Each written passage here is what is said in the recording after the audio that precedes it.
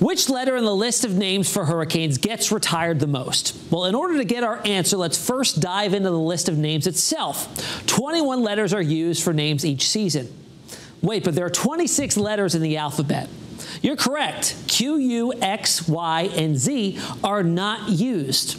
Well, how come? It's simple, really. There just aren't that many names that begin with those letters. Now, there are six lists of names used to identify tropical storms and hurricanes. They are on a six-year rotation. This is 2024's list. Now, do you think you know the answer to the question above? Which letter of the 21 that are used gets retired the most? It's the letter I.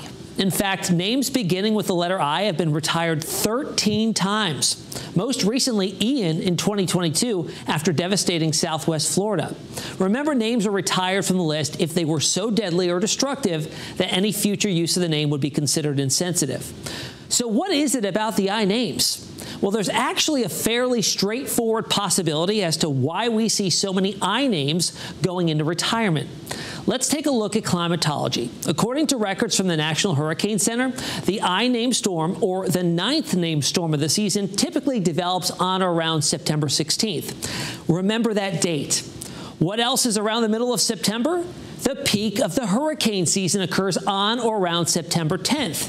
Ideal conditions that make dangerous storms more likely are present during this time, putting the odds that an I-named storm would be one that is a higher chance at bringing about damage and loss of life if it were to make landfall. Now, in this year's list, the I name is Isaac. Will Isaac be one to remember? Time will tell. For 13 News Now, I'm Chief Meteorologist Tim Pandajis.